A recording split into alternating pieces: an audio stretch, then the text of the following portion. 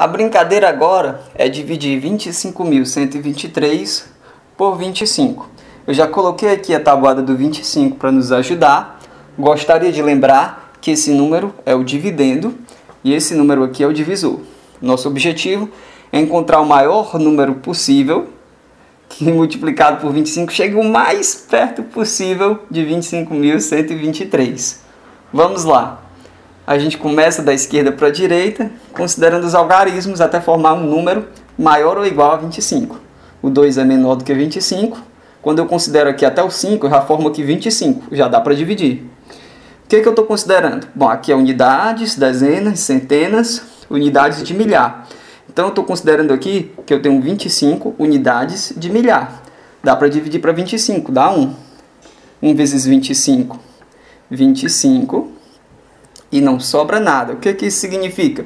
Que eu distribuí as 25 unidades de milhar em 25 partes, né? cada parte é uma unidade de milhar. Então vou considerar o próximo algarismo, ele representa uma centena.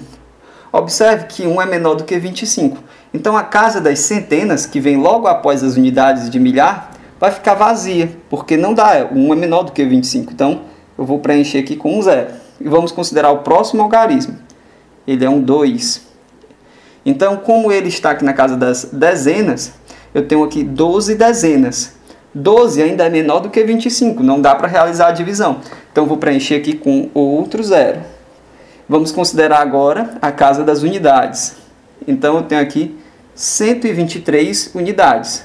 Agora sim eu vou poder dividir por 25, formou-se um número maior que 25. Quando eu observo aqui os múltiplos de 25, aquele que chega mais perto de 123 sem passar é quando eu multiplico por 4. Então vou preencher aqui ó, a casa das unidades com 4. 4 vezes 25 igual a 100. Então ainda sobra quanto? Sobra 23 unidades. Nesse vídeo eu vou fazer a divisão deixando o resto mesmo. E vou lembrar para você que esse cara é o dividendo, esse é o divisor, esse aqui é o quociente e esse é o resto. Como é que eles se relacionam? O dividendo, que no caso é 25.123, deve ser igual ao divisor, que é 25, vezes o quociente, que é 1004, mais o resto, que no caso é 23. Existe uma outra linguagem que é focada no resto. Que linguagem é essa, professor? É essa daqui. Você pode dizer que 25.123 é congruente a 23, aí abre assim parênteses, módulo 25. Quando a gente escreve assim, a gente está dizendo que 25.123 menos 23 é um múltiplo de 25. Eu espero que vocês tenham gostado desse vídeo. A gente fica por aqui. Um abraço e até a próxima. Tchau!